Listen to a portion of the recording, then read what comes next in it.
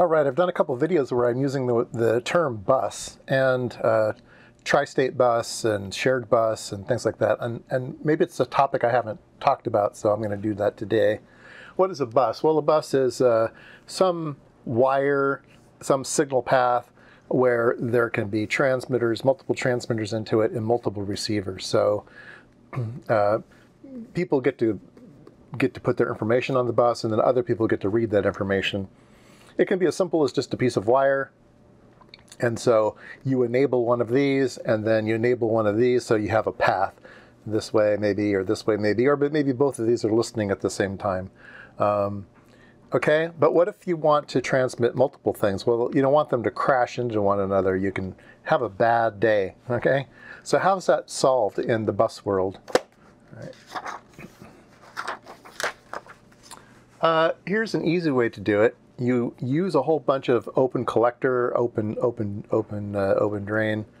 Um, and so you have a pull up, so the, the, the line is high until somebody pulls it down. And it's okay if two people pull it down.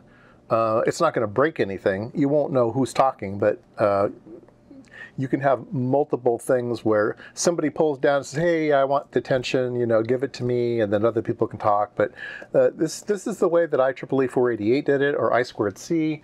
People share the, the, one line, and then everybody pulls down on it. That's why you have to have that 4.7k resistor on I squared C.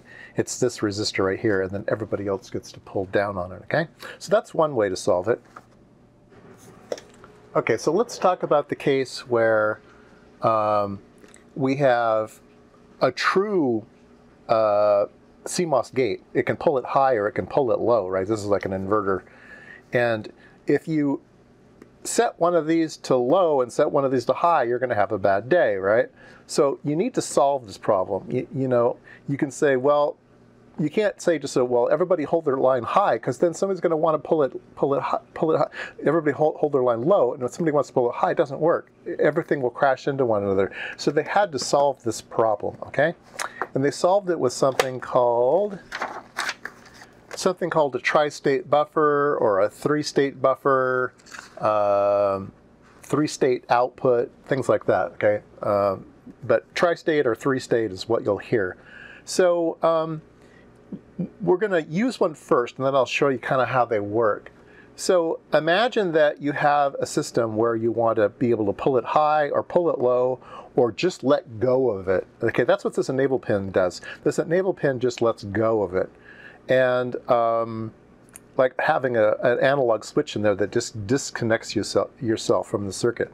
If this wasn't here, these two LEDs would be on, right? You'd have current flowing through here. If this thing was in a high state, this LED would be on, but that LED would be off because you would have two highs and that one wouldn't wouldn't have any voltage across it. Or if this was pulling low, you'd have that uh, LED high, but this one would not light, okay? And again, if you float it, they'll both be high, okay? So let's take a look at that. All right, so here we go. We have a high state or a low state. And so here's the low state, here's the high state. Low, high, low, high, low, high, okay? So it's pulling on the bus. What if we tri-state the bus? If we tri-state the bus, they both turn on because we've just let go of it, okay? It's on its own. So enable the bus and disable the bus. So that's the idea of tri-state. This is a, 74LS244 uh, tri-state buffer, very common. Now, how would you accomplish such a thing? Well, here's a really simple, simple, simple idea. That is, you know, here's your inverter, and you can just disconnect VCC or just disconnect the ground. And you do that with these two. Now, you're going to have a lot of burden voltage. You're going to have a whole bunch of voltage drops here. So while this works, it might not be the most efficient, okay? All right, so let's look at a 244 data sheet. And it, in the back, in the back, it talks about uh, the output circuit. And this is what supposedly the output circuit looks like, okay? VCC ground, it has a push-pull, so uh, we can make it high, make it low. Now we want to disconnect it. Well, I'm not quite sure from this schematic how it works. Uh, it doesn't make sense to me. Certainly, if this was the disconnect line, it would keep uh, anything from getting to this transistor and the pull down here. So this one's going to be turned off all the time. And I guess this would uh, turn it on, but to some signal. And then this, I don't know. It doesn't make any sense to me. So raise your hand if, you, if this makes sense to you. All right. So I looked around for another example and I found a 74HC244.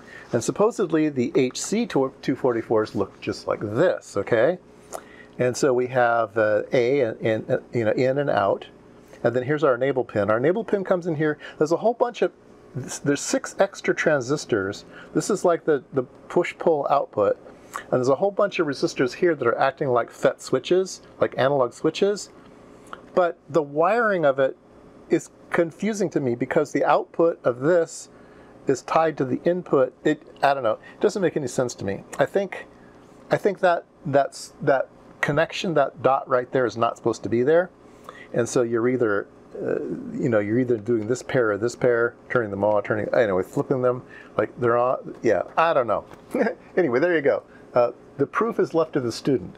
So there's your schematic, figure out how the stupid tri-state works. But that's not the point of the video. Point of the video is to introduce you to what's known as a tri-state bus. A tri-state bus, right? So line drivers with three, oops, sorry, whoa, whoa, whoa. So chip of the day was a 74 LS 244. Uh, and uh, yeah, uh, it is a uh, three-state output. So anyway, the, the whole video is about the uh, about the bus and about uh, three-state buses. very common in microprocessors that have an external bus. Microcontrollers don't ever have this problem because these buses are inside the chip. They have to deal with this inside the chip. But outside the chip, they're just I.O. And there's no such thing as uh, shared buses and stuff, other than I squared C. Okay, I squared C is an exception. Um, but uh, yeah, in the 8080 world, you're having, you know, 8-bit data buses, 16-bit address buses. They, they share lines, they talk to one another um, and uh, reduces the number of traces you have to have on a PC board. Um, certainly you don't have to have one wire going that way and one wire going that way. You have just one wire that can go both ways, and a whole bunch of different things can tap into that one wire. So anyway, there you go.